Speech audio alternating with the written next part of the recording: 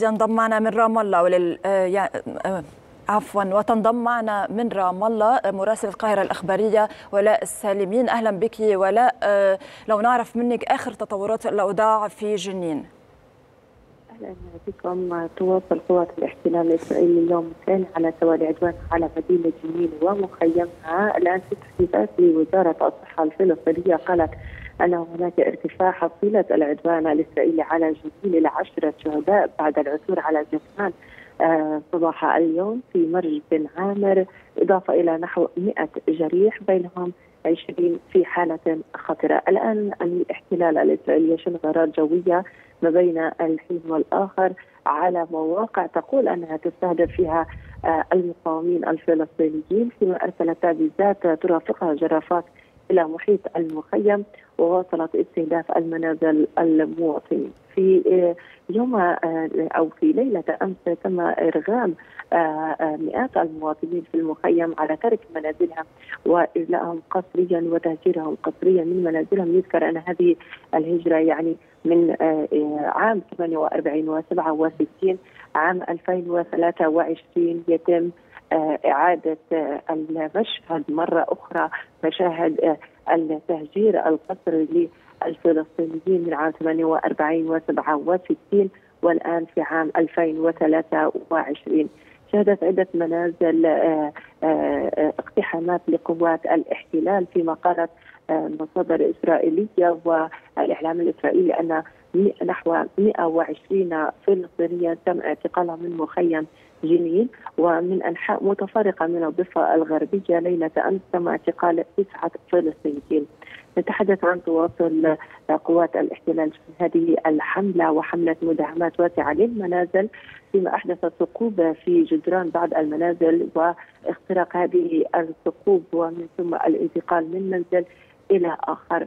نتحدث أيضا عن خلال هذه اللحظات قال مدير صحة رام الله بأن تم منذ يوم أمس استنفار جميع المستشفيات وتم إرسال أطباء طوارئ من طول كرم وطوباس وقلقيلية ليستكملوا علاج المصابين بعد أن أرهقت الطواقم الطبية في جنين. نتحدث عن 100 جريح و20 في حالة خطرة والآن نتحدث عن شهداء عشرة شهداء لم يتم تشييعهم وإنما تم وجودهم وتواجدهم في الثلاجات في مستشفيات جنين الحكومية. كما تم إرسال سيارات إسعاف من مستشفى قلقية وطاقم الإسعاف إلى مستشفى جنين.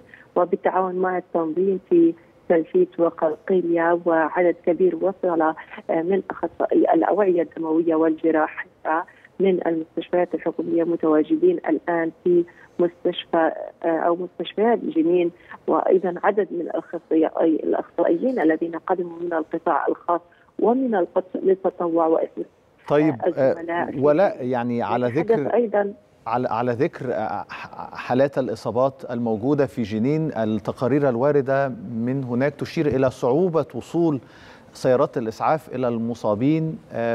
نعم. هل ما زال هذا هو الوضع؟ وكيف يتم توفير الرعاية الصحية للمصابين والجرحى؟ في ظل هذه التقارير التي تشير إلى غلق يعني قوات الاحتلال الموجودة ميدانيا إلى وصول يعني سيارات الإسعاف إلى المستشفيات. هذا ما تحدث هذا ما تحدث به مدير الإسعاف والطوارئ في الهلال الأحمر. قال أن الوضع الإنساني يسوء مع استمرار وجود قوات الاحتلال في مخيم جنين ومنع الطواقم الطبية من القيام بمهامها. يذكر أن يعني آآ هناك العديد من الدمار الشامل للبنية التحتية سواء من خطوط المياه وخطوط الكهرباء وأيضا صعوبة يعني تنقل مركبات الإسعاف بسبب الدمار الذي لحق بالبنية التحتية في مخيم جنين. نتحدث أيضا عن الإضراب الشامل الذي يعم محافظات الوطن من الشمال وحتى الجنوب حدادا على أرواح الشهداء.